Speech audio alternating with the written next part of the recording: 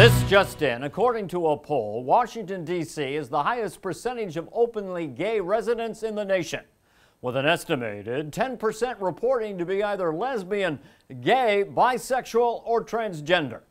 Experts predict this means that Washington, D.C.'s one pottery barn, the one out on Wisconsin Avenue, is probably like always jammed.